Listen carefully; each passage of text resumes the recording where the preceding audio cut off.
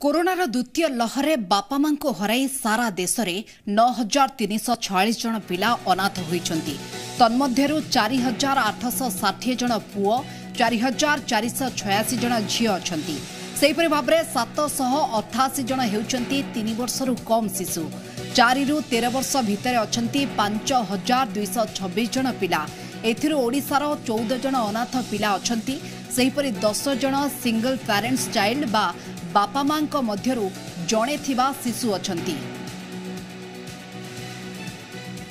PM CARES ଫଣ୍ଡରେ ଯେଉଁ ବର୍ତ୍ତମାନ ଅଠରରୁ ତେଇଶ ବର୍ଷ ପିଲାମାନଙ୍କ ପାଇଁ ଯେଉଁ ପ୍ରକାର ଯୋଜନା କରିଛି ବିଭିନ୍ନ ସ୍ତରରେ କରାଯାଇଛି ଏବଂ ସବୁଠାରୁ ବଡ଼ ଚ୍ୟାଲେଞ୍ଜ ବର୍ତ୍ତମାନ ହେଉଛି ଆମ ପାଇଁ ସେ ପିଲାମାନଙ୍କୁ ବର୍ତ୍ତମାନ ଚିହ୍ନଟୀକରଣ କାହିଁକିନା ଏଠି ଯୋଉ ଦୁଇଟି କଥା ଉଠୁଛି ଆମେ ବ୍ୟକ୍ତିଗତ ସ୍ତରରେ ଯଦି ମୁଁ କହିବା ପାଇଁ ଚାହିଁବି ଆପଣ ଦେଖିବେ ବର୍ତ୍ତମାନ କୋଭିଡ଼ ମହାମାରୀ ଯେଉଁମାନେ ଆକ୍ରାନ୍ତ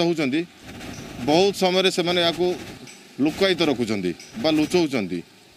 ସବୁଠୁ ବଡ଼ ଆମ ଆଗରେ ବର୍ତ୍ତମାନ ଚ୍ୟାଲେଞ୍ଜ ହେଉଛି ସେଇ ପିଲାମାନଙ୍କୁ ଖୋଜିକି କାଢ଼ିବା।